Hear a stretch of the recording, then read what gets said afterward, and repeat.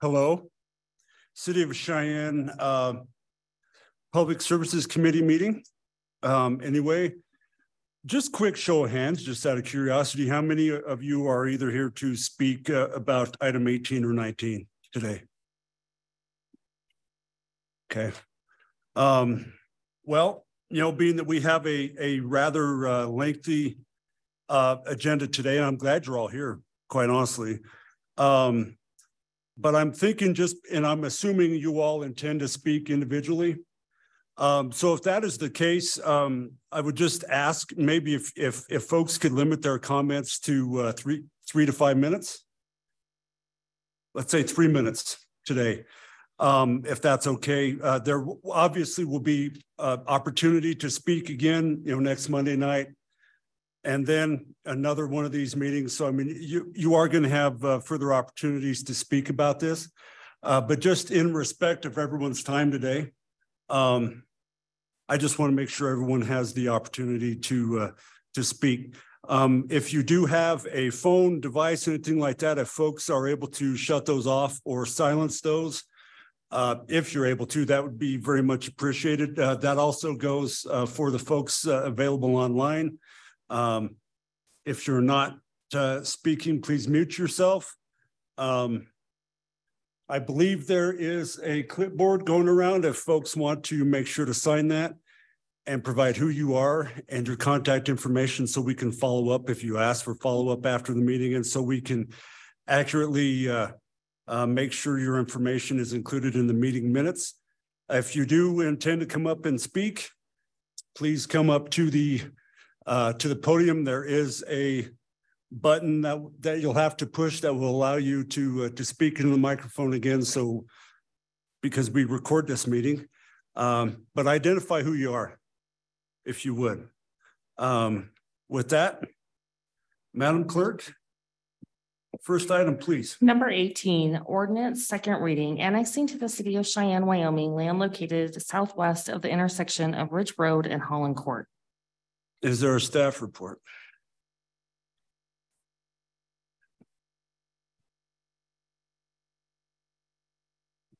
Chair, members of the committee, Charles Bloom, Planning and Development Director. This is the annexation of a ten point seven acre parcel of land that is located south of Holland Court and west of Ridge Road. The property is located in the unincorporated county right now, and it is immediately to the east of the Crest Ridge subdivision. Uh, the proposed zoning associated with this is NR three. Uh, the developer has indicated that they uh, propose to develop multifamily housing at this location.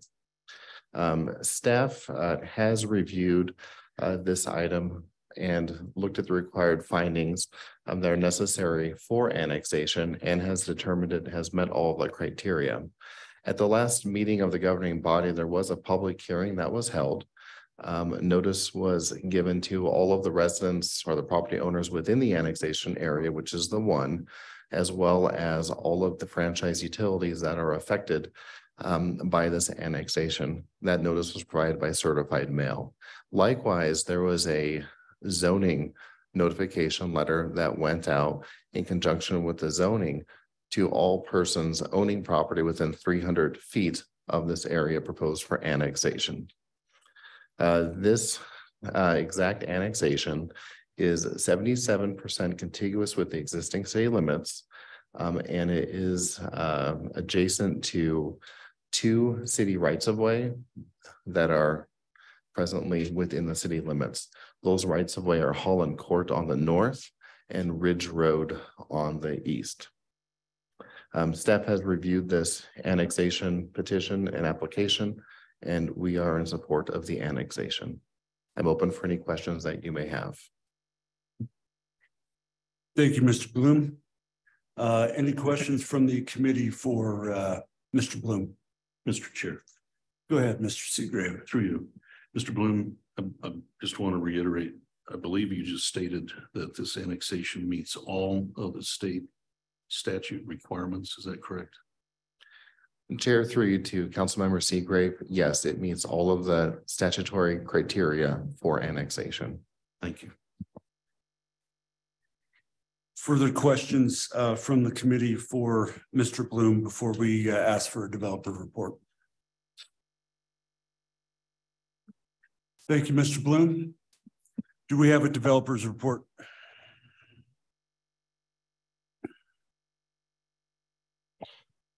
Uh, Chairman, council members, Brad Emmons, AVI, uh, agent for the applicant, uh, Bedrock Development LLC. Um, just reiterating what Charles said, that we believe this annexation meets the criteria to be annexed into the city, and if it was to be developed, uh, it should be developed within the city and not in the county. Look for your, uh, consideration on the annexation.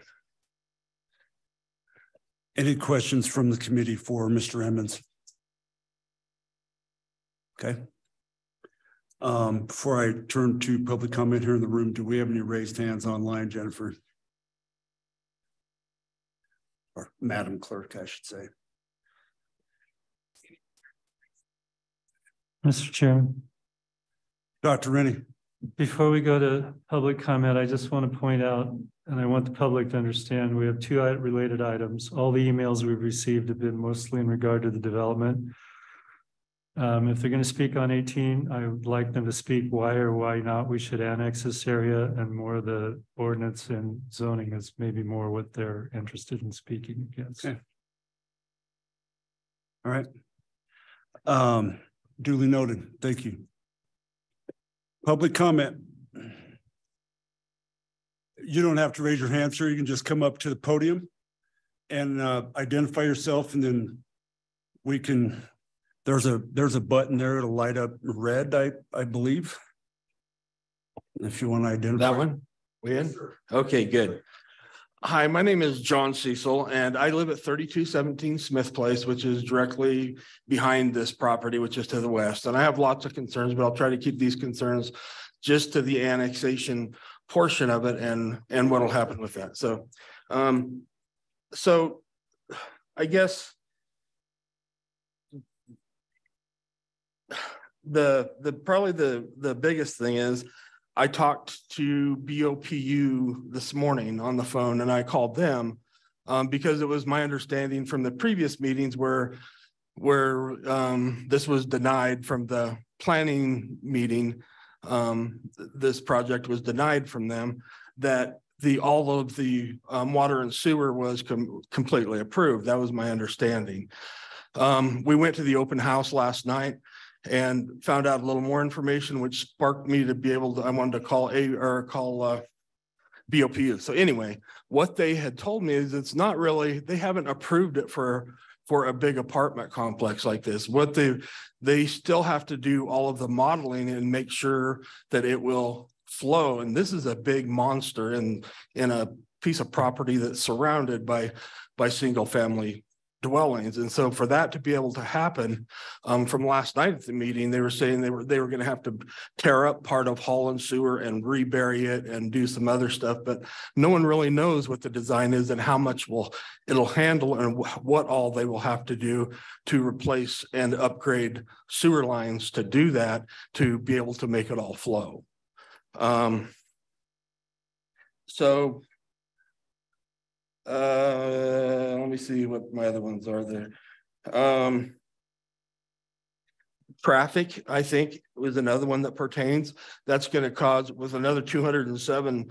Um, homes basically or apartments, that's gonna cause a lot of traffic there that somebody's gonna have to address for both the roads and streetlights and stoplights and, and all that kind of thing. Um. And I guess, uh, and, and the parking issue is gonna be another big thing that I think this one, you know, if it does get annexed in, that one and a half spaces per unit just doesn't do it. They're, they're gonna be parking on the streets in the city park, which I know it'll be annexed, so I'll try to keep it to that. I did want to respond just real quick, Mr. Cecil, if I may. Um, no, those, those, uh, um, those concerns are duly noted, uh, in, in my understanding, and I'll let, uh, if they need to, uh, staff and or Mr. Mr. Emmons, uh, respond. But yes, my understanding is all those things, especially uh, with the parking, the traffic and the sewer part, they might have to, um, speak on that. But yes, a lot of those things, um, you know, the traffic and the parking won't necessarily be addressed, you know, in the, in the annexation or with the, the zoning, quite frankly. Um, those will be addressed and will be assessed further, Mr. Cecil, through the, uh, the plat process and the site plan process, which is where a lot of those are going to be further assessed. So again, I know that's no consolation to you, but Right. um, they are going to continue working on those things. And, and I'm assuming you've, you've been made aware of that, but I wanted to just state that for the record. Yeah, and, and I just, I guess the reason I brought those all up is Yeah. because if it gets annexed, those are, I think, things that, that are gonna apply later on, but there's other micro, Sure. other concerns that I have that we'll address later. Yes, thank you, sir. Thank you, thank you. Further public comment, please. Now's the time. For this one, for the annexation. Um, if not, obviously, we have this next, number nineteen.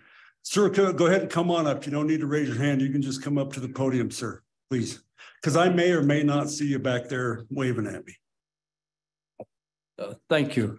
Uh, I, I'm Alex Sutton. I live on thirty-two twenty-one Thomas Road. Okay, uh, it's, it's my understanding they want to put in a swimming pool. Or are they going to use that swimming pool area for parking? I mean, these are just questions that I kind of have, you know. And, um.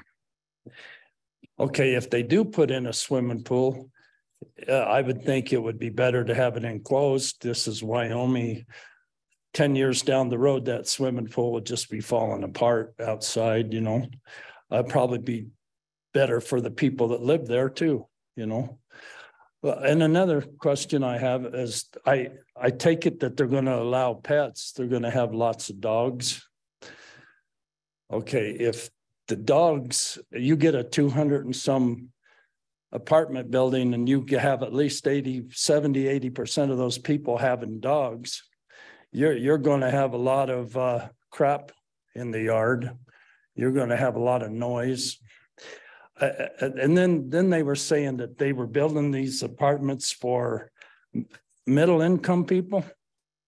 I don't think a lot of middle income people would want to live in that, that type of environment. I think this would mostly turn out to be low income people living in that area, you know, it's. These are just things that, you know, concerned about, so. Thank you, Mr. Sutton. Do you have any uh questions or concerns related specifically to whether or not this meets criteria for annexation? Well, the traffic, you know, I, I don't know. And Again, those things will be addressed further on in the process Yeah. um as well. So, Okay. All right. Thank you. Um. The further public comment uh related to the proposed um annexation on second reading. My name is Roger Alexander. I live at thirty-two twelve Holland Court, which is at the northwest corner of the proposed development. Um, I'm going to address two criteria, number two and number eight. Criteria number two is compatibility with nearby properties. I do not believe that's the case with zoning to an NR three. All the properties to the northwest, south, and east are zoned either MR or A one and all the developments in those four cardinal directions are single-family dwellings. From my property on Holland Court, I cannot see anything but single-family homes in any direction. I know there's a, a apartment complex at the northeast corner of this property, but it's on the other side of Ridge Road and, and it's off a Storey, actually, not Ridge. So it a two hundred and seven unit development surrounded by single-family homes is not compatible. The properties in, in the Crestridge subdivision are pretty large. My lot's eleven thousand acre, eleven thousand square feet, which is a quarter of an acre. So for the purposes of just some figures out here, let's, let's imagine that the average density of single-family homes in Crestridge is roughly five homes per acre. That's nine thousand square foot per lot. And assuming an average of four residents per house, that's twenty people per acre in the Crestridge subdivision. The development proposes to have two hundred and seven units on ten point seven acres. That works out to roughly nineteen units per acre.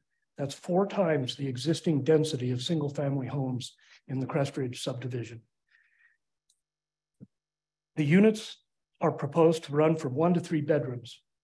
So once again, for the purposes of illustration, I'm going to assume three residents per unit, which would work out to six hundred and twenty-one additional people in that neighborhood. And that's six hundred and twenty-one people on ten point seven acres, which works out to fifty-eight people per acre. That's three times three times the existing density of people per acre. Based on just those figures, it's hard for me to say that the proposed zone change and development is compatible with the neighboring surrounding properties. The other criteria is number eight, public health, safety, and welfare. Once again, I don't believe that this proposal and the rezoning request to NR three would enhance the public health and safety and welfare. In fact, it would endanger public health, safety, and welfare, especially on Holland Court, where you're going to increase traffic incredibly. Right now, there's probably thirty to forty cars a day go down Holland Court, either up or down Holland Court. If you assume that there's one and a half cars per unit on this development, that's going to be three hundred and, well, there's three hundred and eleven spaces they're going to have. That's one and a half parking space per unit. So let's assume each one of those is taken with a car. Half of them are going to come out onto Ridge Road and half of them are going to come out onto Holland Court. So that's going to be hundred and fifty-five cars coming onto Holland Court that don't currently do that. Some of those are going to turn right and go to Ridge. But if they're going to Yellowstone, Powder House, Converse, they're going to go turn left, they're going to go down Holland Court to Canyon, turn left on Storey. So we're going to increase the vehicular traffic potentially up to three hundred vehicles per day on Holland Court. That is not enhancing public safety, health, and welfare of the people on Holland Court. Thanks. Thank you.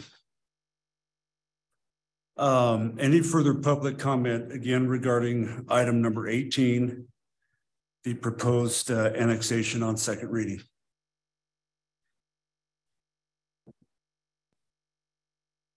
Mr. Emmons, Mr. Chairman, through you, I would just like to follow up on the sewer and water again. I, I believe I spoke to it when we met at uh, the public hearing, but I have a memo from Bryce Store on September second of twenty twenty-two, uh, where they analyzed the sewer capacities downstream from this uh, area for uh, different projects, including this one. And um, they noted that there would be some offsite improvements down at the bottom Buffalo Ridge that would have to be included, um, but that the um, Otherwise, the, the um, system could handle the um, load from this development. So just wanted to make it clear of the, of what we said at the public hearing meeting about the sewer and water. thank you, Mr. Emmons. Any further public comment again regarding item number eighteen? Seeing and hearing none, do we have any hands raised? Okay, um. At this time, the chair would entertain a motion from the committee. So moved. We have a motion, do we have a second? Uh, moved by uh Mr. Seagrave, seconded by Dr. Rinne. Um.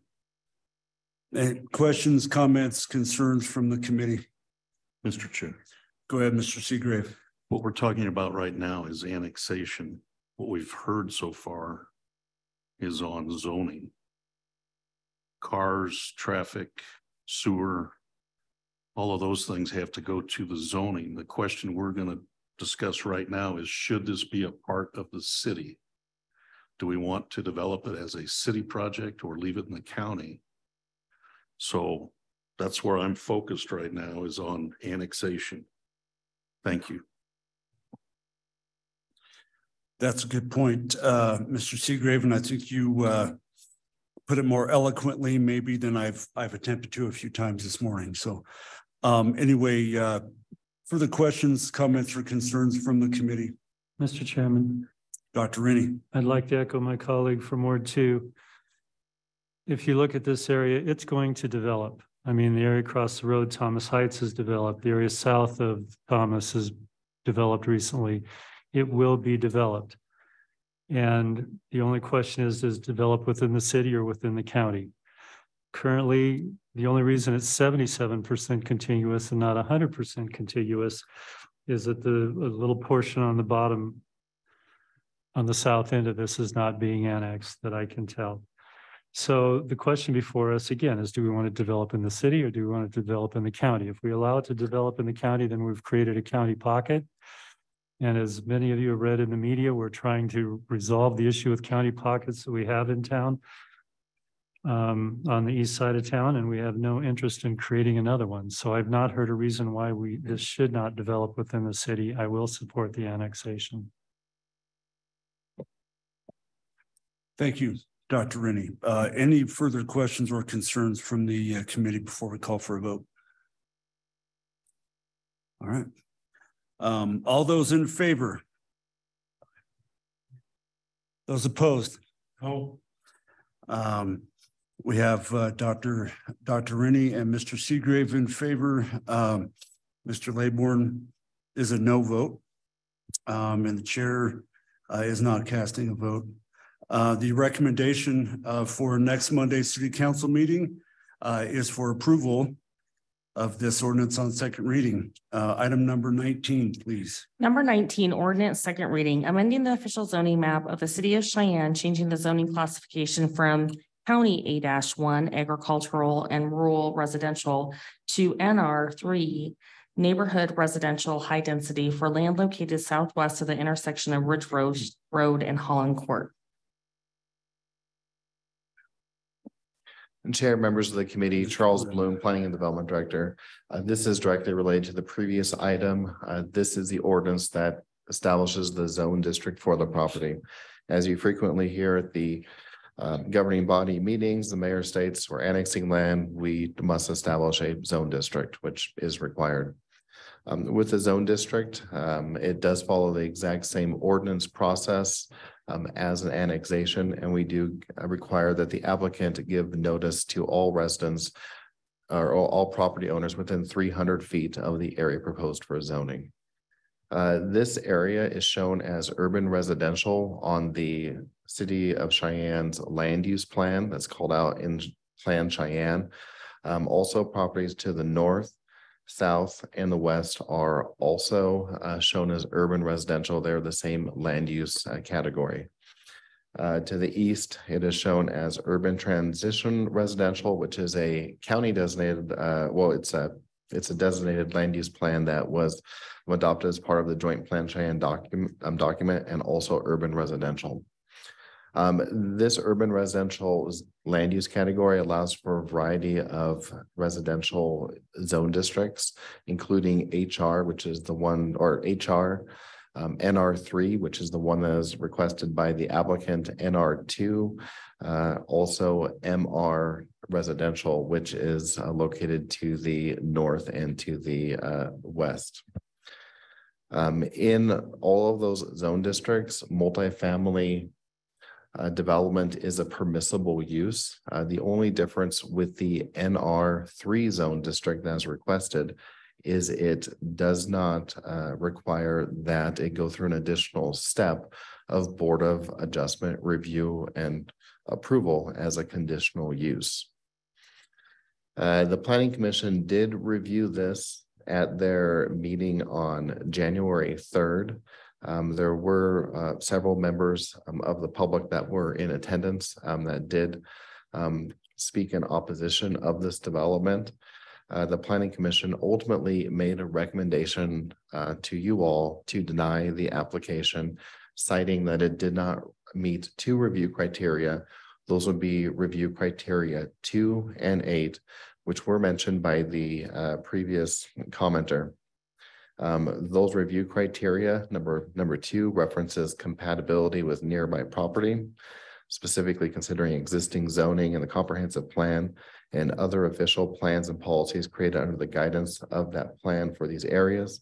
And number eight, uh, that is uh, whether the application will harm the public health, safety, or general welfare. In staff's planning commission staff report, which is attached to your agenda item, uh, city staff did evaluate uh, this zone change for conformance and compliance with those review criteria. And we did find that this does uh, conform and comply with um, all review criteria necessary for annexation. Uh, something I would like to note regarding just land development patterns. Uh, Ridge Road is a uh, minor arterial street, is a major north-south street in our community. Storey, which is one block to the north, that is a minor arterial street as well. It's a major east-west corridor through the community. Um, both of those uh, corridors lend themselves to um, increased density to be developed along those corridors. They can utilize facilities such as um, existing greenway infrastructure that has been installed and potential um, expansions to um, mass transit or transit in the area. Um, uh, rezoning to a multifamily zone district in this area um, is something that uh, probably lends itself it does lend itself to um, some of the more efficient use of existing developed infrastructure that's in the community. Um, again, just to remind you, the planning commission did recommend denial um, of this for uh, failure to find that it met criteria two and eight.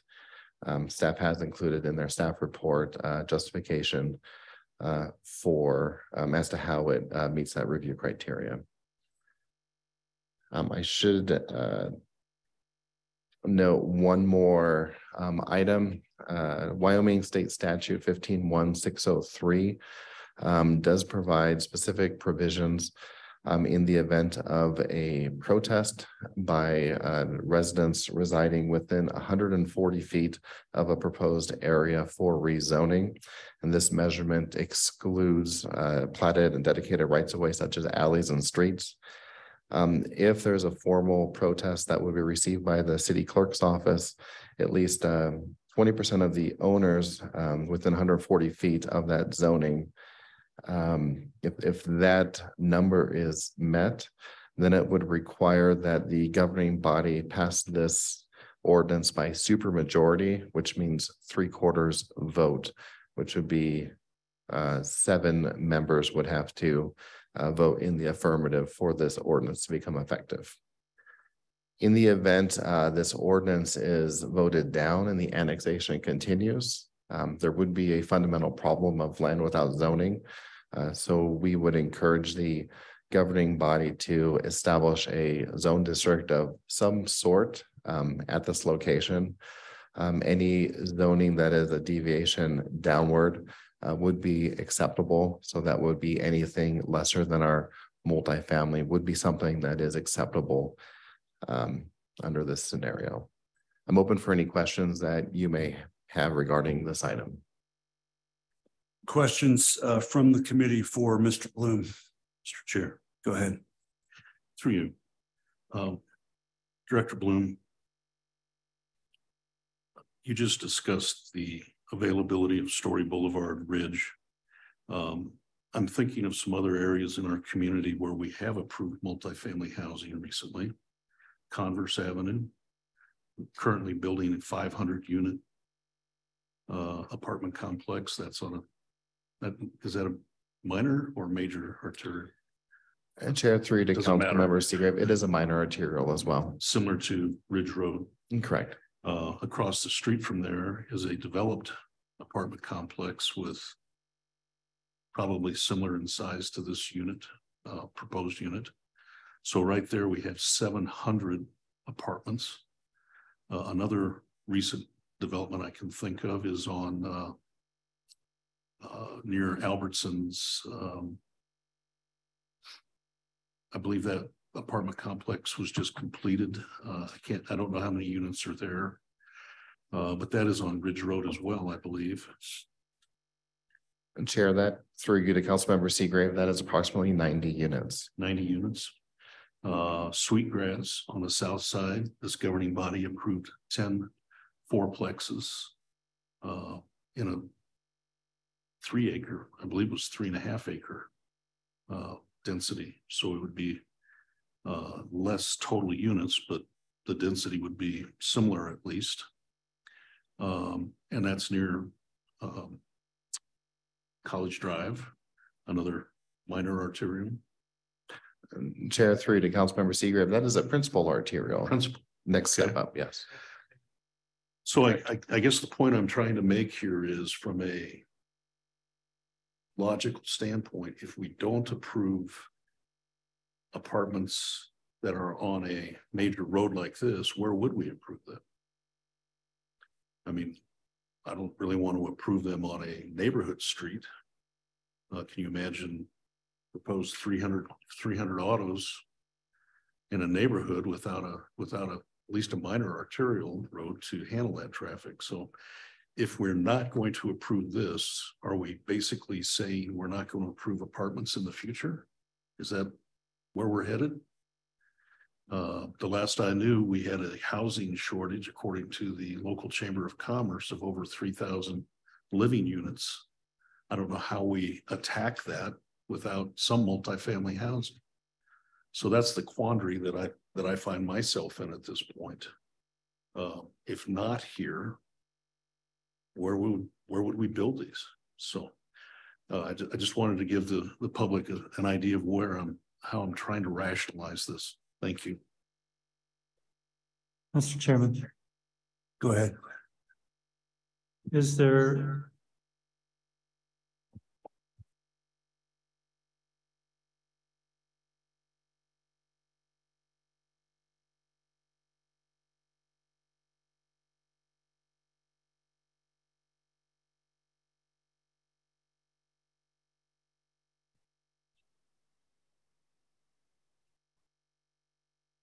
Chair through to uh Dr. Rinne.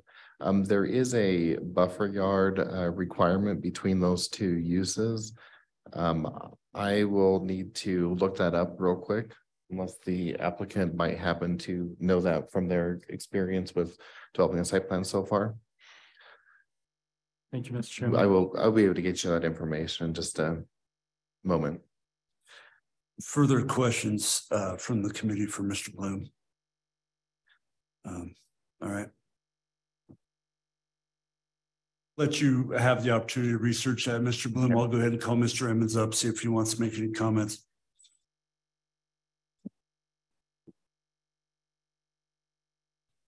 Uh, Chairman, committee members, Brad Emmons, uh, AVI agent for the applicant, and we also have the applicant here and the architectural design team. Uh, I'll probably start with going through the urban residential plan Cheyenne design standards. Uh, a primary use within the urban residential section of the plan Cheyenne is apartments. Uh, it also speaks to that um, multifamily residential, these types of housing, housing are generally served by collector and arterial streets.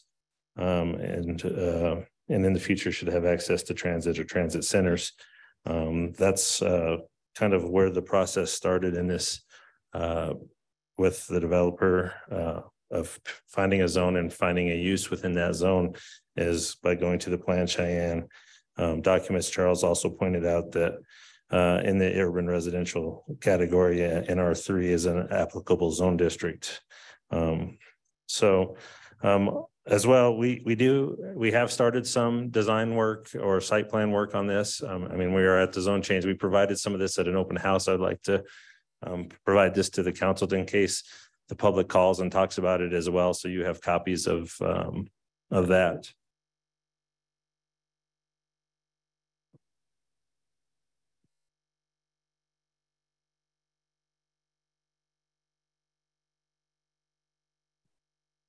Um, uh, within the, um, I will tell you that, uh, we, we, we did work with Jason, the developer.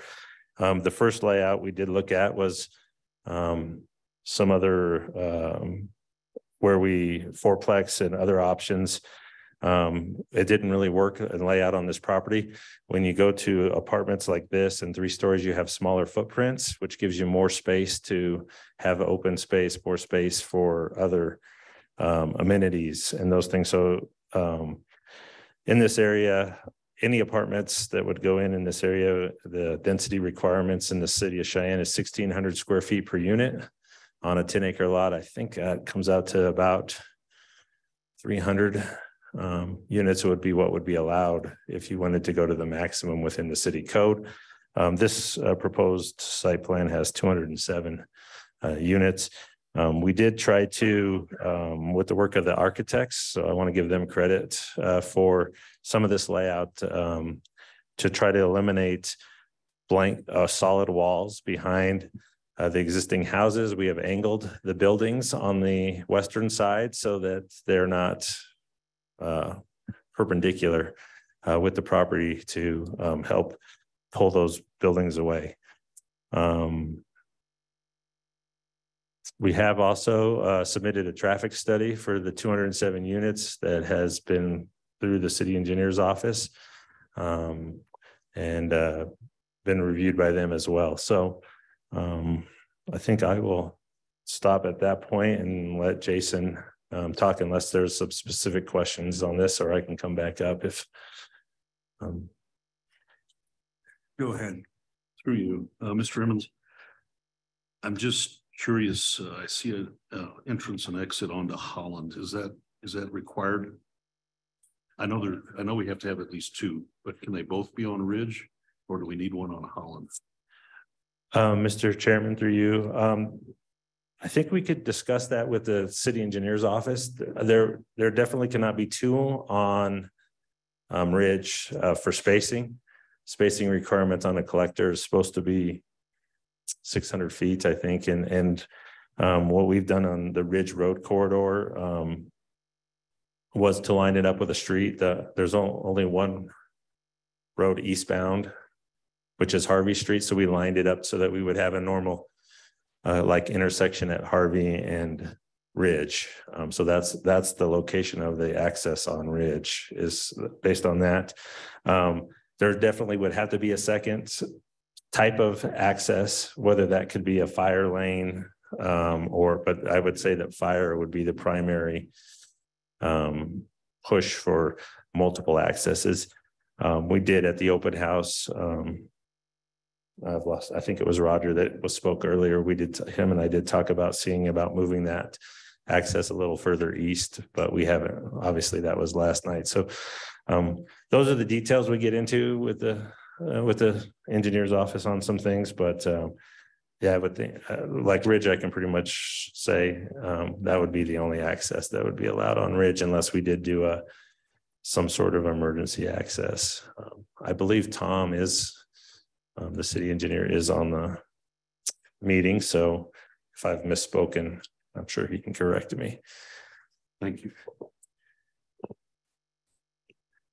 Mr. Cobb, city engineer, would you like to make a comment? Yes, sir, Mr. Chairman. The only thing that I might add is, um, Mr. Emmons is correct. It, it's six hundred and sixty feet is the minimum spacing, so, um, we, we couldn't feasibly do that on Ridge itself. And again, as, as Mr. Emmons has indicated, we reviewed the traffic study and the information provided so far. We, we don't see anything that would be, um, I guess, um, alarming to us at this particular point. I did attend the meeting last night just for the benefit of the council to understand that. I wanted to hear the direct concerns of the public. And one of the things that was brought up is basically the canyon intersection with Storey and the impact that might have to the neighborhood routing it out Holland. So what I indicated to them is as we move forward in this process, in the site plan process, we'll look at that in more detail. And if mitigations measures need to be implemented, we'll, we'll make the developer pay their proportionate amount of that cost. Thank you, Mr. Cobb. Um, any questions or comments from the committee for Mr. Cobb? Uh, yes, do we? What are we doing here? Did you want to, uh, did you have some clarification to provide? Because I, I would really like to, to have the developer to have an opportunity. Oh, opportunity. sorry. No, Chair. go ahead, go ahead, Mr. Bloom. Chair, three to the committee, Charles Bloom, Plan Development Director. Just wanted to let you know what the landscape requirements are there. Since it is a multifamily zone adjacent to another multifamily zone, because MR does allow for duplexes, multifamily units. There is no landscaping buffer yard requirement um, directly related to the development itself for the buildings. Um, there is a Suncor easement that will have that separation. Now, since it would have over two hundred and fifty parking spaces, there is a requirement that parking lots are required to be buffered from any residential units. And that buffer yard is at least an eight-foot perimeter buffer on the, the rear side of the development. Um, and also a requirement that five percent of the internal landscaping area within the parking lot be landscaped. And a further requirement that the parking area be reduced into smaller parking blocks. So um indirectly, there will be landscaping requirements that um typically will be located on the edge um of the property, and there are other easements and restrictions that will force the development to uh be outside of the uh western edge of the the property. Any uh further questions for Mr. Bloom based on that uh. New information on landscaping requirements? Thank you, Mr. Bloom. Uh, do we have further developer? Report? Uh, Chairman, Council, Jason Stephen, uh, Bedrock Development.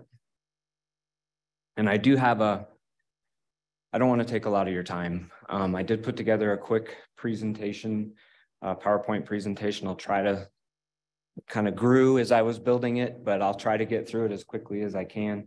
A lot of the issues I think have already kind of been discussed, so I may sort of skip through some. And I believe you'll get a copy of this um, after the meeting, so you're, you know, have some more time afterwards to, to look through this on your own. Um, but you can go ahead and move to the next slide. So um, three things that I just wanted to go over real quick today is what this area currently looks like today, um, what's being proposed for the future, and then concerns that have been brought to our attention um, about this uh, project that are being addressed. As you've already seen, this is the area. Um, it's about ten point seven acres um, currently in the county.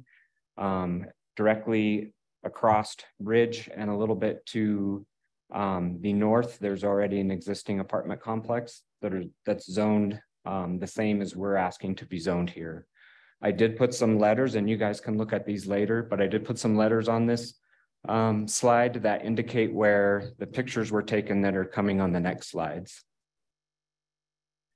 So this is a picture of fifty-nine oh eight Ridge Road, which is the vacant home that is directly across the street from um, the houses at Thomas Heights. This is a picture of uh, Holland Court. Um, the first picture on the left is looking to the west, and you can see some drainage issues there on the side of the dirt road that's Holland Court. And then the other picture is looking to the east from down Holland Court. Uh, this is looking uh, back to the west again on Thomas, and then the picture to your right is actually um, kind of on the corner of the property. Um, that would be the southwest corner of the property, looking towards um, the south. And then these next three pictures that um, we can just, or a couple of pictures we can flip through are what the property looks like from the rear. So that would be from the houses that are to the west of the property. Um, so this is just a summary. We've already kind of gone and gone through this. Um, so you can go ahead and skip that part. Um, some of the community improvements that we believe this project will provide are annexing the county pocket into the city, providing sewer and water to the residents on Holland Court. So part of this project will entail us uh, providing future sewer and water availability to those homes that are on Holland Court to the south, or I'm sorry, to the north of the project. Um, improvements to Holland Court, so paving Holland Court, curb gutter sidewalk. Uh, some improvements to Ridge Road, which include sidewalk. Um, demolishing the abandoned and rundown home that sits on the property. So cleaning that up, I think we can all agree that doesn't look real great. Um, and then cleaning up the junk and dead vegetation that's accumulated on that property over the years. And then one last is improved drainage. I think you're going to hear some comments here in a minute about drainage on the backside of the houses that are to the west. Um, and as we talked a little bit yesterday at our little public uh, forum, was that we were more than happy to try to improve those, those drainage issues that are currently there. So this is just a quick elevation view of the apartments that um, we've been designing. And then these are some three D drawings that Winters Griffith put together for us to show what the apartments would look like from the interior. And then, yeah, there's a couple of that um look from the backyards of the houses that are to the west. So this, this um three D rendering and then the next one show what the apartments would look like from that perspective.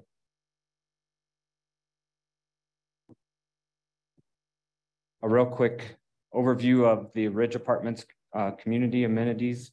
Um, we're currently planned to have a fitness center, community rooms with media and game rooms included, private meeting rooms, on-site leasing office, indoor uh, secure bike storage, secure package lockers for the, the tenants, a dog park wash area, outdoor recreation space, walking paths, and then our real hope is that we're able to supply in the back corridor area, um, a swimming pool for the residents. Um, as far as the units go, um, right now we're planning on providing a very nice modern interior design, large windows with lots of natural light, private patios and balconies. Um, obviously ADA units, um, air conditioning, uh, high-speed internet, video doorbells, a lot of the smart items that um, people are looking for in newer in newer apartments now. Um, in-unit laundry facilities, dishwashers, and pet-friendly units. So concerns, um, basically the five major concerns that we have uh, heard about during this process and have come up with on our own are increased traffic, sewer capacity, drainage, apartment design and building height, and property values.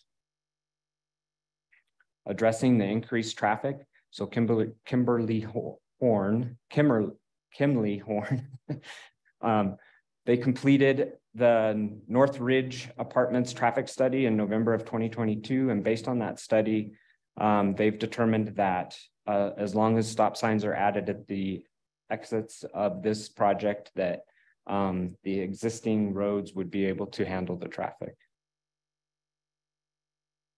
Uh, sewer capacity issues, um, we did talk to BOPU. Brad talked about that a little bit, so I won't reiterate all of that, but they did say that there was capacity.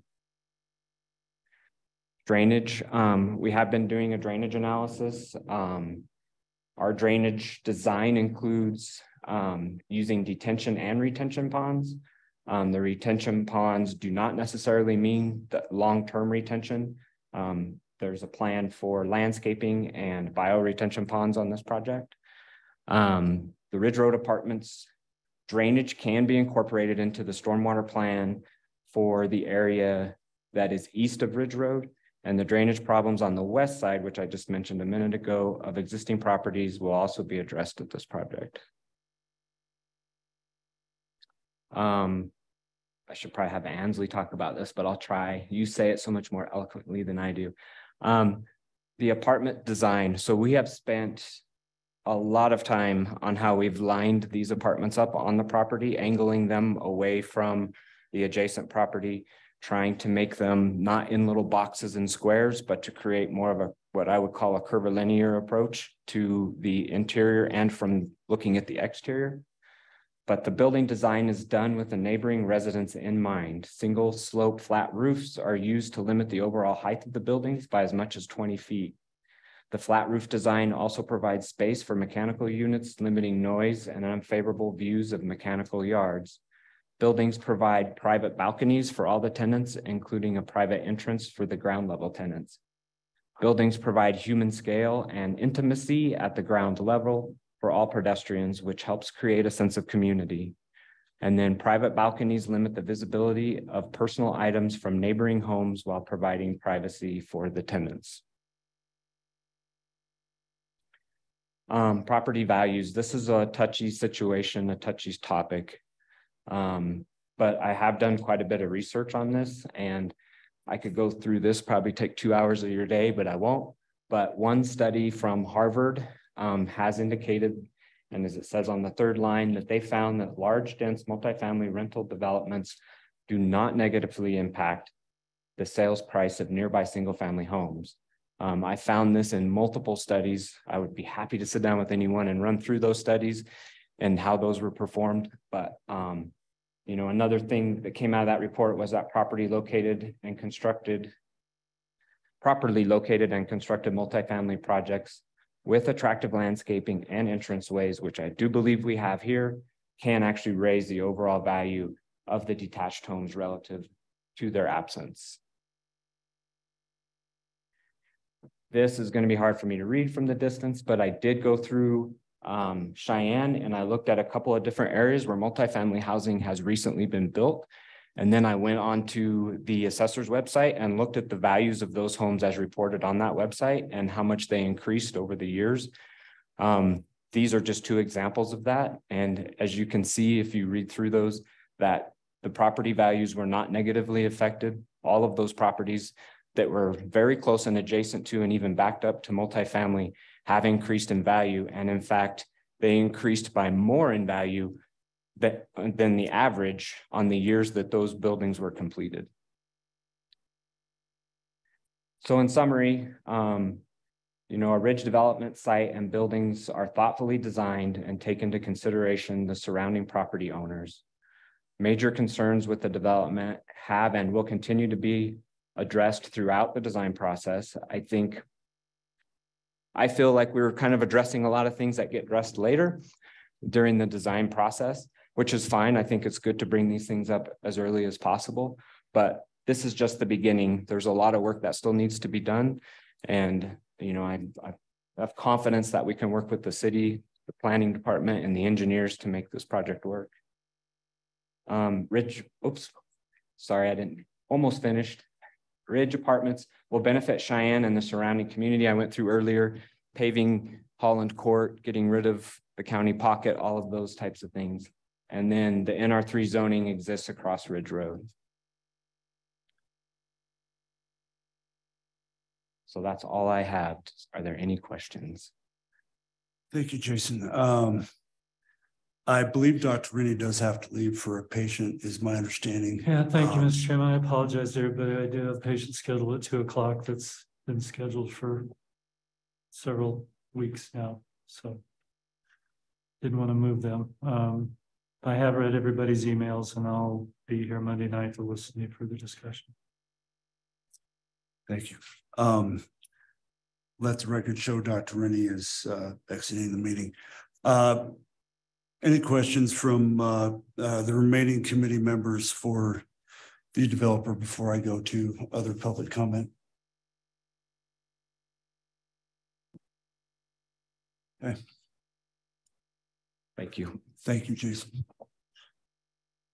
Uh, Jennifer, do we have any hands raised? Online. Okay. Um, before we start public comment, I will say because we are, uh, we are getting close to one o'clock. Um, if folks are amenable to this, if, if, uh, if you could limit your comments to If folks uh can can please try to keep your your comments within uh uh three minutes. Um, I think just because everybody's got a tight schedule today, I want to make sure everyone has a has a chance to speak who wants to speak today. So if if folks are amenable to that, if you could limit your your comments three minutes, that would be appreciated. Like I said, there will be another meeting and and more opportunities to speak on Monday night. And then two weeks from today, well, two weeks from yesterday. Um, this meeting again, and then another council meeting. So there will be more opportunities. Uh, with that, folks, um, public comment. Just a quick note that I will keep tra- track of the time over here, so I'll give you like a one minute, like when you have about one minute left, okay? My name is Charles Marsh. I live on Canyon Road, which is the first north-south through road just west of the uh, the property. Um, I'm not adjacent to, I butted up against it, but I, you know, am, will be impacted by what all goes on around it. Uh, basically, I guess the big concern that I hear from most people and myself is the compatibility with adjacent property. Because most of the property around it is single family homes. Personally, my, my biggest concern is the impact of traffic. They've determined the roads can handle it, but can the neighbors handle it? That's where I'm coming from is the amount of traffic that I see on my roads. Um, really what it comes down to is I do not want it zoned as any sort of uh, high density. I would like to see it single family homes, even duplexes, maybe even fourplexes. Um, i- it's not a matter of uh, I'm opposed to people living there. I would be more than happy to have more neighbors there. And uh, like I said, residential would be my preference. Um, purchased residence, but rentals are fine. I'm just opposed to the high density. My, the one question that I do specifically have is, for instance, the sewer, it has been determined that it is at capacity. Is there any sort of, this goes through and it turns out that wasn't quite right? Do the developers have any sort of uh thing that they have to do to fix the problem if it turns out to be a problem? That's all. We'll go ahead and, well, obviously this meeting's being recorded, so I mean, we can follow up with BOPU about that, and I would assume um. Um, maybe the, the developers can, can answer that uh, at next Monday's meeting, but uh, my understanding uh, from uh, what Mr. Emmons stated is that uh. Um, BOPU, um, the name he, he stated is someone with BOPU, so they were the ones to assess it, but um. Yeah, that's duly noted. Uh, we will make sure that we try to have some follow-up on that for the next meeting. No, thank you. I appreciate that. Go ahead, sir. John Cecil again, uh, thirty-two seventeen Smith Place, and I've resided there for twenty-four years. Um, when we bought our property there, it was in a nice residential neighborhood, and that's what we thought it was gonna be. Some of these other apartment complexes that um, you guys are talking about, I don't think are surrounded as much like the one over behind Walmart. That's not surrounded by um, single family homes. And so I, I don't think it's fair. And I don't think anyone in a single family home neighborhood like we live in, which is a really nice neighborhood, would want a monster like this put in the middle of it. And that's what I kind of look at it too. I'm, I'm, I'm not against development. I really am not, but I think it needs to be done right. And I think it needs to be done without harm to others around it. And so I think we need to take all that into consideration.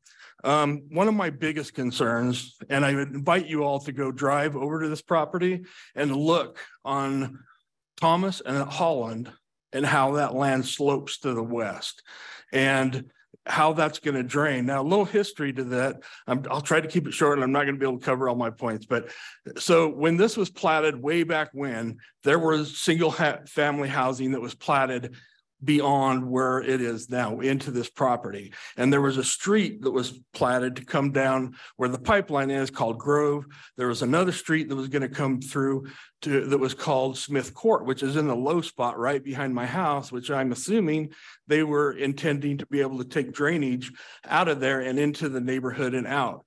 Well, when they started doing our subdivision, redid the plat, but it's still on the Crest Ridge plat. I have a picture of it. I can show you if you need it. Um, then they, the guy that had that 10 10 acre piece, he didn't want to pay taxes on stuff that was subdivided for housing, so he wanted to turn to agriculture, so it was vacated. And at some time the pipeline was put in there. Um, and so right now, we don't have big problems. We've had some back there where it came almost up to the fence and came over, but it's agriculture land. You start putting, you start putting concrete and pavement, you're gonna have more runoff and more flooding and more chances for that. Now, what their, their plan was, they tell me, is that they're going to put fill in and they're gonna raise that all so they can try to drain it all out towards Ridge Road. Well, that means they're gonna have to go at least ten or fifteen feet above where it is now. That's gonna be way above my back fence. Then you're gonna have a three-story apartments going above that, looking all back into, into um, our yards and whatnot. Um, the, the traffic issue, I mean, if these are gonna be luxury apartments, which who says, I mean, they build them as that, but if they can't rent them, they can turn them into whatever they want, kind of apartments. Um, but people are gonna, people nowadays have cars. If you have a three bedroom apartment, I will tell you, people are gonna have more than one and a half cars per apartment. Um, and they're gonna be parking on the streets, kind of like they do on that apartment complex on college. If you drive by there anytime, there's cars parked out on college because there's no room in the, in the, um, uh, lot for them in there. Um, and so I see those, those kind of issues as some of the big issues, but you know, I disagree with the property values. I'm sure there are studies that say that, but Go ahead and wrap up, Mr. Okay. Cecil, if you would. I will. Um, but I'm, I'm sure there's studies out there that show the opposite of that. Um, but you know, the- here nor there. Um. But like I said, potential flooding and, and if they do do all that, Phil, where's all that and, and gives away? Where's it gonna go? Are they gonna put retaining walls in there? Nobody can tell me. Nobody has a real plan. And I asked those questions before, and the first time we've seen a real layout of this was last night at the public meeting. They did have them, they were flashing up at the, at the meeting before, but we weren't able to see those. So, thank you. Thank you. And, and like I, uh, I'll just reiterate one more time. I mean, there, there are going to be more opportunities to, to speak. And, and you are, are certainly welcome to, to email us as well, Mr. Cecil, with, with more of this information if you'd like. And I will be. No, uh, thank And you. I I just, I just want to make sure folks know why, you know, we're, we are, we want everyone to have an opportunity to speak. Um, so, thank you, Thank you very much. sir.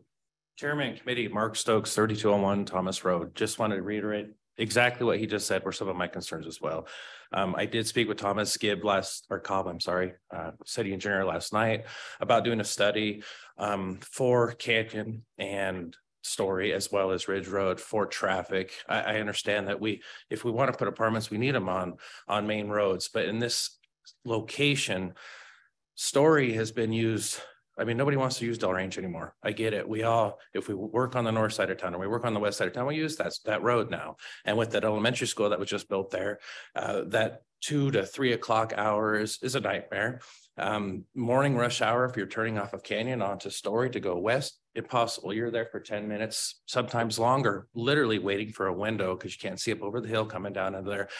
It's a bad situation. Um, Mr. Cobb said he was going to put cameras up there and do a study.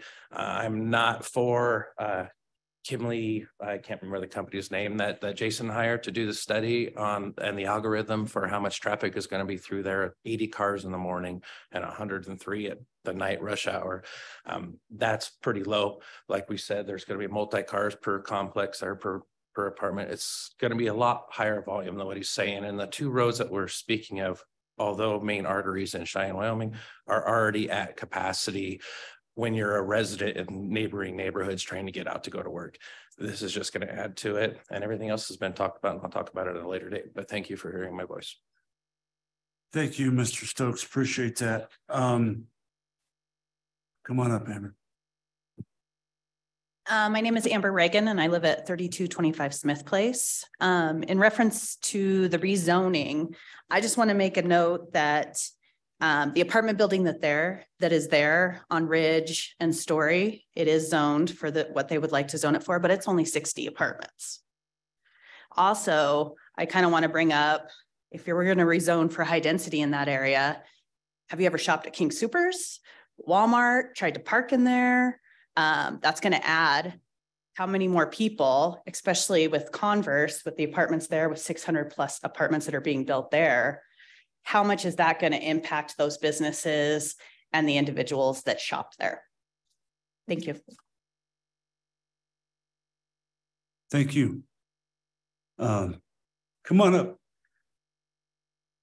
I hate public speaking. No, I Um, understand. I saw you take a deep breath. It is fine. We are not gonna bite you. I know. So, no, feel. But this feel is a very ahead. emotional um topic for me. I live at thirty-two twenty-two Thomas Road. Pardon? Ma'am, ma'am, could you identify who you are, please? Yeah. So we can. And I live at thirty-two twenty-two Thomas Road. I've lived there for twenty plus years. And I believe what I am speaking to addresses criterion eight, which is the public health and safety and welfare. And I've spent the last week visiting with neighbors throughout that area. And most of them were unaware of this development proposal. And hundred percent of them were opposed to putting up apartments. They were in favor of single-family homes. And the reason against the proposed apartment complex were varied, but held a common concern, the impact of four hundred to five hundred people in a ten acre plot on the current neighborhood. Whether the current residents are retirees such as myself or young families raising children, the concern was the same. Losing what we value most about our neighborhood, a quiet, peaceful, and safe place to live. No matter how carefully planned a neighborhood is on paper, there is no way that such a huge amount of people in such a small area won't change what we have. This includes all of the concerns that have already been uh, talked about, the traffic, the noise, the light pollution, the, you know, the good old um, drainage that I don't understand. A lot of the younger families were concerned about the safety of their children and also the overcrowding of the schools. Um, a lot of the ladies had said they had moved to that area specifically for the safety and well-being of their children, and they felt very threatened by these the changes that are proposed. We don't expect the developer developers of this project to care about our concerns, but we do expect and, and hope that you all, as our representatives, do care about us. I have been told that this expectation is unrealistic, that you all really don't care. And, you know, I, I, I hope that this impression is incorrect. Thank you.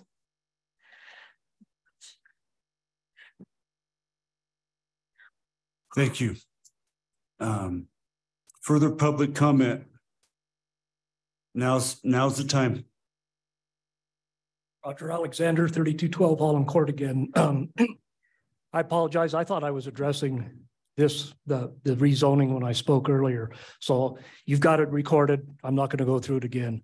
I'm not opposed to the development of that parcel, but I am opposed to rezoning as NR three and developing it into a really dense housing project. Thank you.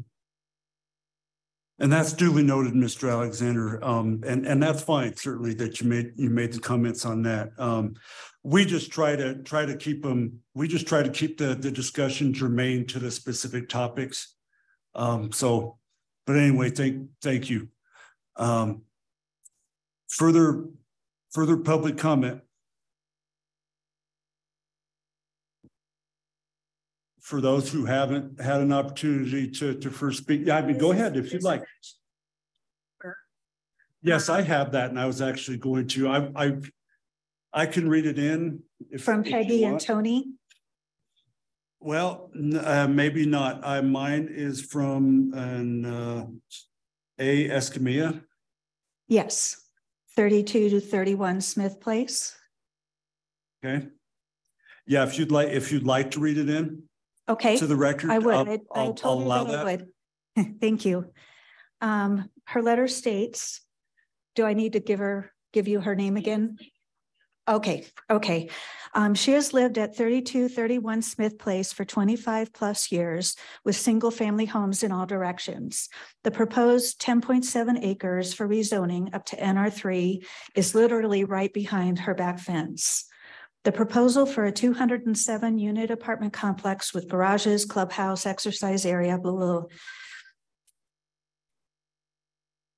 is a very small area for a minimum of four hundred plus people, plus around the same number of vehicles.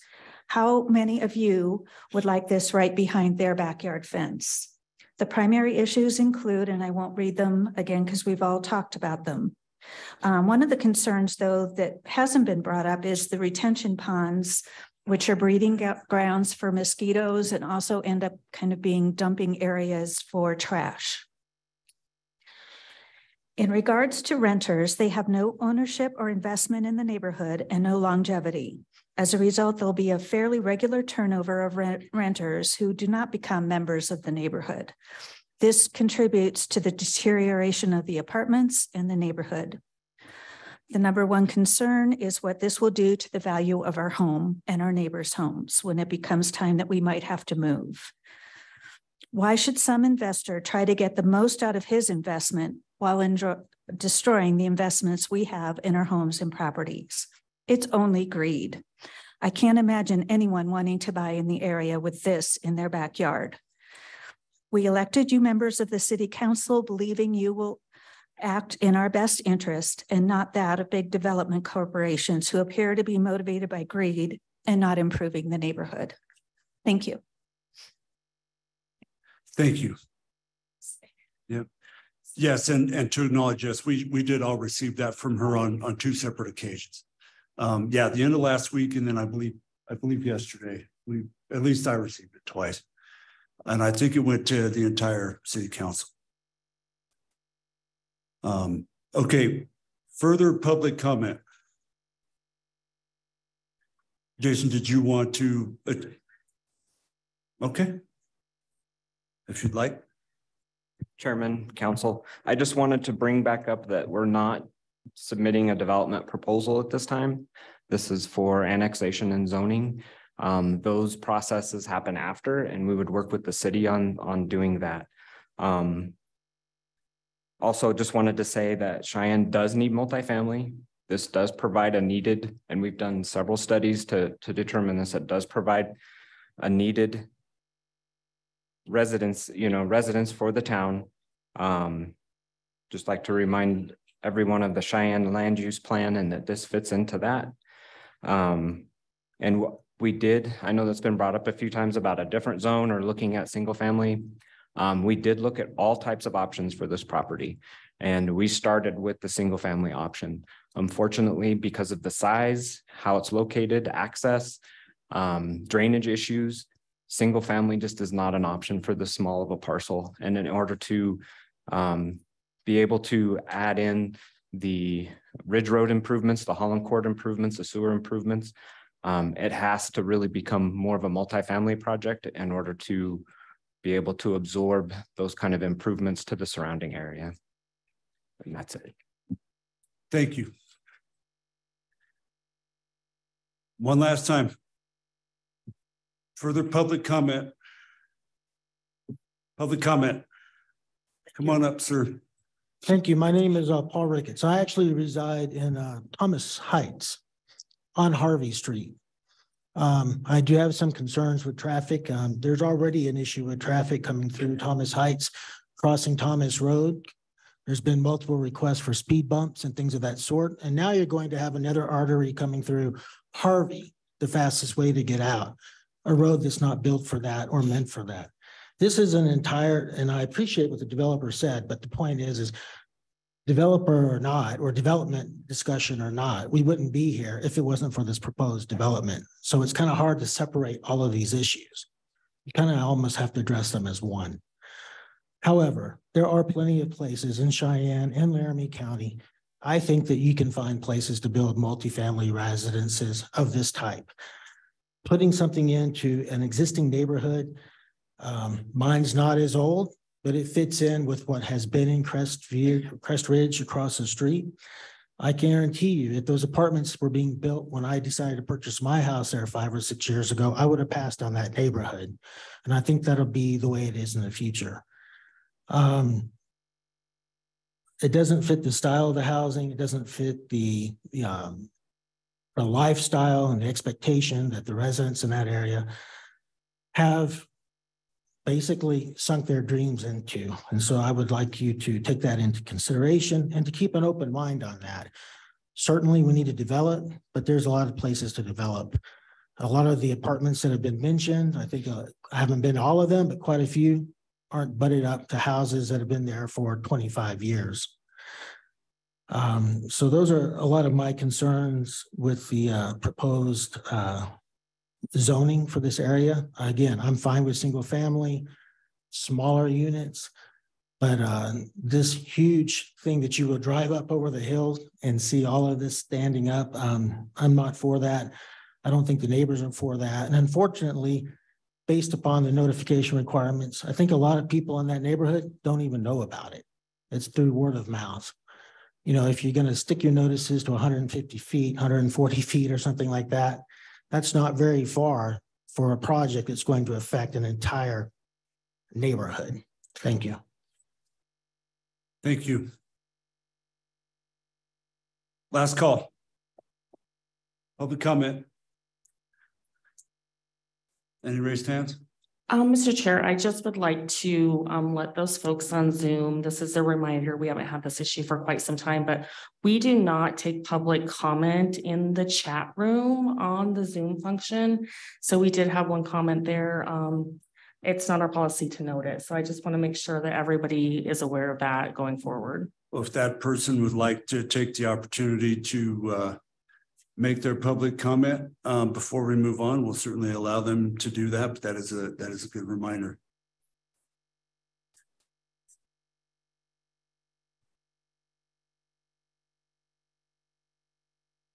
Um, Alicia, you should be able to unmute yourself. Hello. I just wanted to say I live on thirty-two oh four Holland Court. Ma'am, could you identify who you are, please? Alicia Croats. Thank you. And I wasn't able to get in today, but we looked at the proposed um layout and how many people there's going to be and we just recently bought our house not a few years ago with the purpose of having a quiet calm neighborhood and their outlet goes straight onto our street which they will be going up and down Holland they're going to try and bypass Storey as much as they can and I just feel like it's going to ruin the whole neighborhood and the safety of our neighborhood. Um, and just the fact that they can put so many like apartment buildings on one lot is just crazy to me. And the drainage and everything else that everybody else has talked about. I just wanted to make sure I had a comment. Thank you very much. We, we appreciate your comments and I'm glad you uh, stuck around uh, to provide those. Thank you. Okay, seeing and hearing no uh, further public comment. Um, At this time, the chair would entertain a motion from the committee. We have a motion. Mr. Chair, to get it on the floor, I, I will move to approve. Second. Uh, this item, this proposed ordinance on second reading, uh, we have a motion, uh, by Mr. Segrave, seconded by Mr. Laybourn. Uh, further, uh, discussion from the committee. Mr. Chair, Go ahead, Mr. Segrave. through you, I'm not sure which staff person this should go to. Um, I believe it was Mr. Marsh that talked about, uh, duplexes and or fourplexes would be maybe not desirable, but better than, uh, what we're looking at. Uh, what type of zoning would we need in order to, to accomplish that, the fourplex? Is that, is that the same zone we're in right now? Go ahead, Mr. Bloom, please. And Chair, committee members, to answer Councilmember Segrave's question, the zoning MR would accommodate uh townhouse units, Seven. Uh duplex structures as well. That is the same zoning that is uh within the neighborhood to the west. Um, and the minimum lot size for uh townhouse units is two thousand five hundred square feet. Thank you, Thank you, Mr. Bloom. Anything further, Mr. Segrave? Further questions and comments from the committee on this agenda item? All right, uh, we have a motion and a second. Uh, all those in favor? Those opposed? Uh, there will be no recommendation, uh, going forward, um, Madam Clerk, because, uh, we had two, two no votes, and even if the chair wanted to, uh, wanted to vote, um, really wouldn't make any difference. So the chair is not going to cast a vote. There will be no recommendation, um, on the, on this item for next Monday. Thank you. Um, thank you, folks. Um, you are certainly welcome to stay for the rest of the meeting, but if you want to take the opportunity to, to go, you are certainly able to do so. We appreciate you all being here today. Thank you. Thank you. Item number twenty, Madam Clerk. Number twenty, ordinance second reading, annexing to the city of Cheyenne, Wyoming, land located east of Southwest Drive and north of I eighty.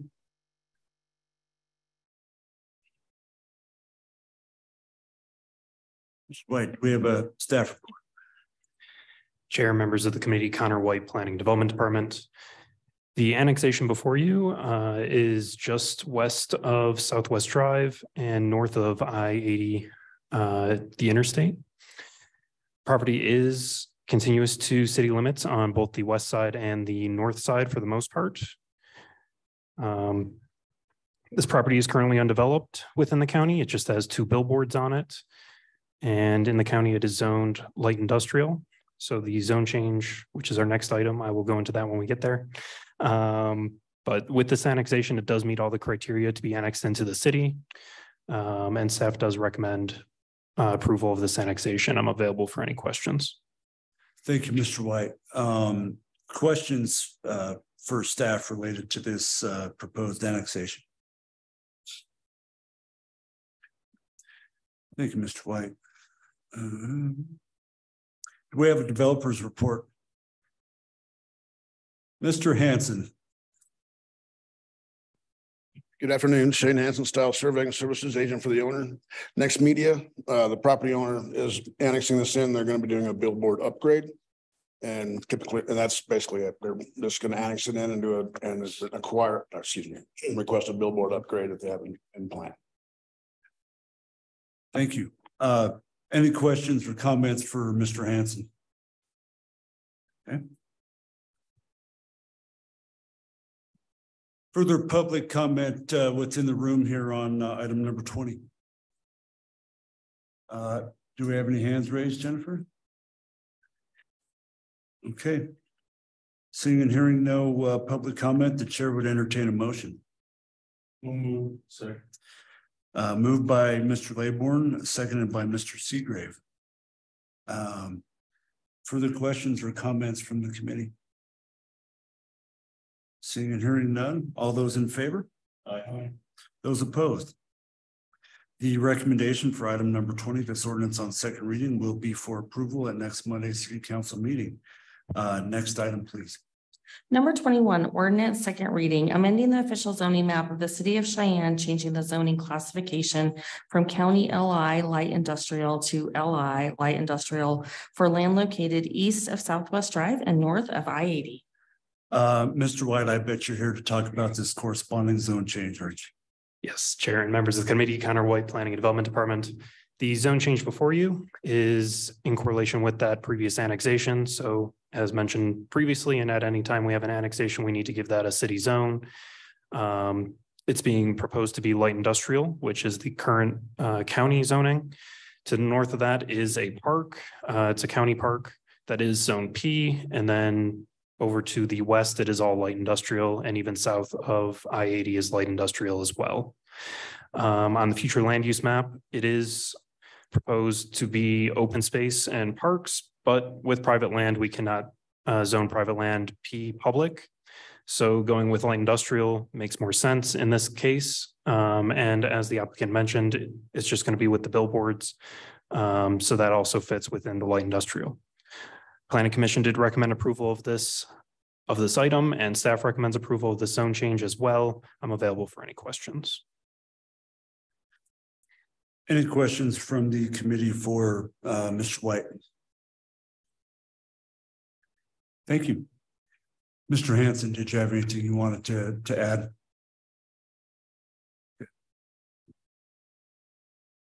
Further public comment? Seeing and hearing none here in the room, do we have any raised hands, Madam Clerk? And we're on item twenty-one.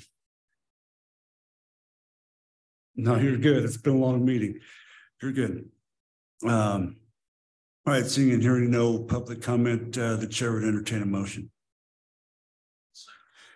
Uh, moved by Mr. Laybourn, seconded by Mr. Segrave. Uh, further questions or comments from the committee, uh, regarding this proposed, uh, ordinance, uh, zone change on second reading? Seeing and hearing none, all those in favor? Those opposed? The recommendation uh, for next Monday's city council meeting uh, for this ordinance on second reading will be for approval. Next item, please. Number twenty-two, ordinance, second reading, vacating West Nineteenth Street, west of Grant Avenue, City of Cheyenne, Laramie County, Wyoming, located south of Old Happy Jack Road, west of Missile Drive. Mr. White, you're back again so soon.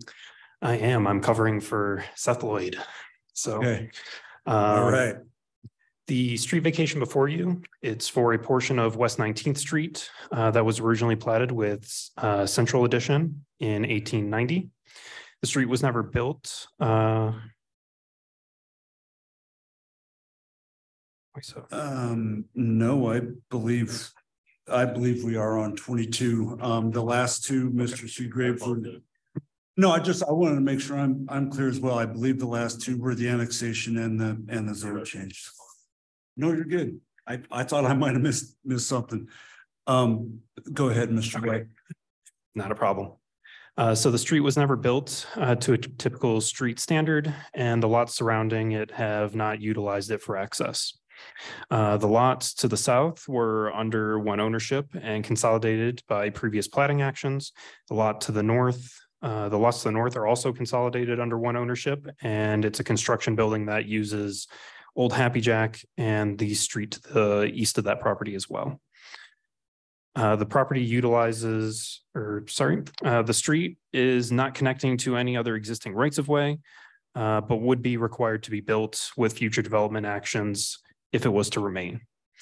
Uh, city staff has uh, the petition here to vacate this portion of the street. Um, the city doesn't need that portion built. Uh, we do, there is a developer to the south that is planning to build out that subdivision, but there will be other street networks through there that will still provide connections uh, that will lead out of that area. So if the street was to be built, it would most likely be a dead end street. So the city is looking to just vacate this portion of right of way. Um, Planning Commission did recommend approval of this vacation and staff recommends approval of the vacation as well. I'm available for any questions. Thank you, Mr. White. Uh, any questions from the committee for, uh, Mr. White? Thank you. Mr. Emmons, are you here for a developer report? Chairman, council members, Brad Emmons, AVI, uh, agent for the applicant, um, with, along with the city is, you will see this, the back forty is going to planning commission in February, um, which is the adjacent property owner to the south, and this vacated right of way will be incorporated into a lot, and then Grant Avenue will extend down and it'll make a lot more clear when the, when the plat map comes before you, if it makes it through planning commission in February. So just wanted to let, let you know what was going on. Thank you. Any questions for, uh, Mr. Emmons? Further public comment, uh, here in the room? Any hands raised, Madam Clerk? Right, uh, seeing and hearing no, uh, public com- public comment, again, we are on, uh, item number twenty-two. Uh, the chair would entertain a motion. Uh, moved by Mr. Segrave, uh, seconded by Mr. Laybourn. Uh, further questions or comments, uh, from the committee? Seeing and hearing none, all those in favor? Aye. Those opposed? Uh, the recommendation for this ordinance on second reading, uh, will be for approval next Monday night. Uh, item number twenty-seven, please. Number twenty-seven, resolution authorizing the mayor and the city clerk to sign a final plat for the Maltese Cross situated in the west half of section sixteen, township thirteen north, range sixty-six west of the six P M and including a portion of public right-of-way dedicated with sweetgrass, seventh filing, Cheyenne, city of Cheyenne, Laramie County, Wyoming. Go ahead, Mr. White. Chair, members of the committee, Connor White, Planning and Development Department. The final plat before you is for the Maltese Cross. Uh, You probably recognize portion of this as council did approve the preliminary plat on December twenty-seventh.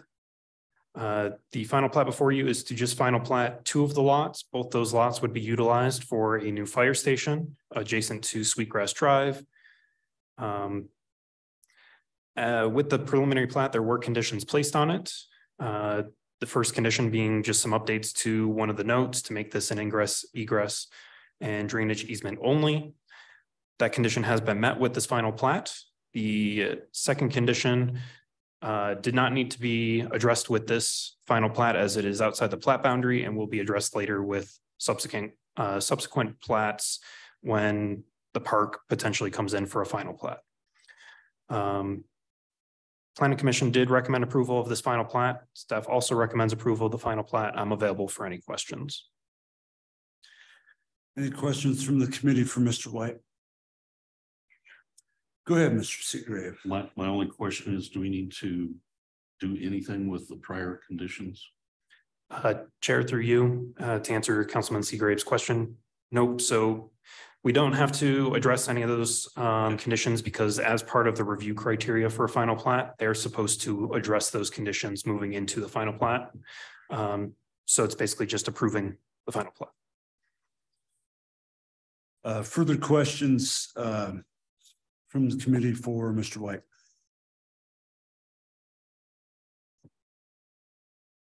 Thank you. Do we happen to have a, uh, developer's report? Do we have any, anybody online? No one here? Okay. Uh, any further public comment? Okay. Uh, no developer and no further public comment. Uh, the chair would entertain a motion. Second. Uh, moved by Mr. Laybourn, seconded by Mr. Segrave. Uh, further questions or comments uh, from the committee on this proposed resolution? Seeing and hearing none, all those in favor? Aye. Those opposed? The recommendation um of the Public Services Committee will be uh to adopt this uh resolution at next Monday's city council meeting. Uh, last item, please. Number twenty-eight H memorandum of understanding between the city of Cheyenne and Dozer LLC to authorize filing of plat of platting applications for city-owned lands for the purpose of access and future development. Mr. Bloom. And Chair, members of the committee, Charles Bloom, Planning and Development Director. Um, the title pretty much summarized what is going on here. Um, this is actually a document to allow us to be signator on a plat application that's being run in conjunction with the back forty subdivision, which is related to the vacation that you heard um, earlier on this agenda. Um, specifically what this would do is this would allow for the platting or the replatting of the lot that we own to the west of the Ice and Event Center to allow for additional um right of way to be dedicated for the northern half of Paul Smith Way. Uh, this, this authorization um is similar to ones we've had in the past, would involve city land. Unified Development Code uh, requires that all landowners sign as applicants on these subdivision applications. Um. Oop, we- we're going to share a screen image of the um area, but the computer we're going to use um happened to die. I'm open for any questions that you may have regarding this application. Or sorry, this MOU. Any uh questions uh from the committee for Mr. Bloom?